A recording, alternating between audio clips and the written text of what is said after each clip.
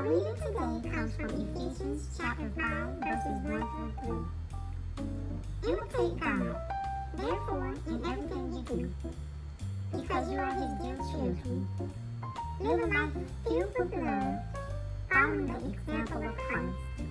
He loved us and offered himself as a sacrifice for us, a pleasing aroma to God.